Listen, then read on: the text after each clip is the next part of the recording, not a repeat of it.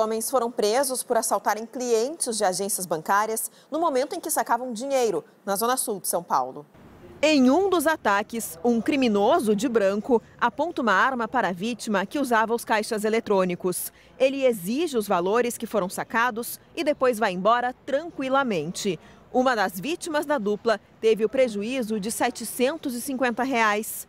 E ficou gritando para andar e que ele queria que todo mundo sacasse o limite, mil reais.